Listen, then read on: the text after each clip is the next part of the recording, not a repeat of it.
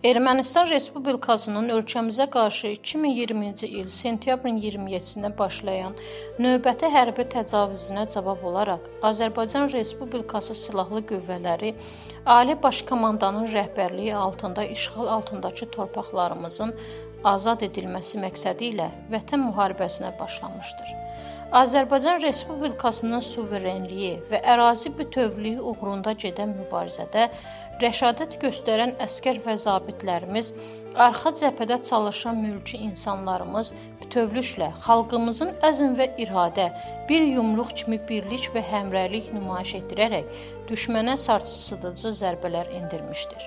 Müzəffər Azərbaycan ordusunun zəfər yürüşünə dözə bilməyən düşmən təxribatları əl ataraq günahsız mülki insanları hədəfə almaqla müharibə cinayətləri törətmişdir.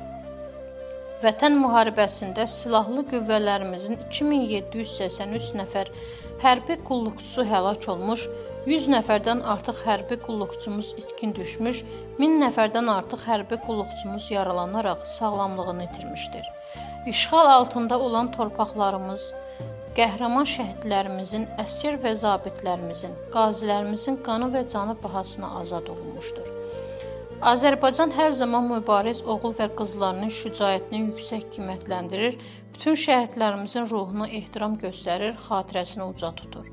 Vətən müharibəsinə qəhrəmancasına döyüşmüş, Azərbaycan bayrağını işğaldan azad edilən torpaqlarımıza dağılandırmış, ölkəmizin ərazi bütövlüyü yolunda canlarına fəda etmiş əskər və zabitlərimizə, bütün şəhidlərimizə dərin ehtiram əlaməti olaraq Azərbaycan Respublikasının prezidenti İlham Əliyev 2020-ci il 2 dekabr tarixli sərəncamı ilə hər il sentyabrın 27-si Azərbaycan Respublikasında Anım Günü kimi qeyd edilməsi qərarı alınmışdır.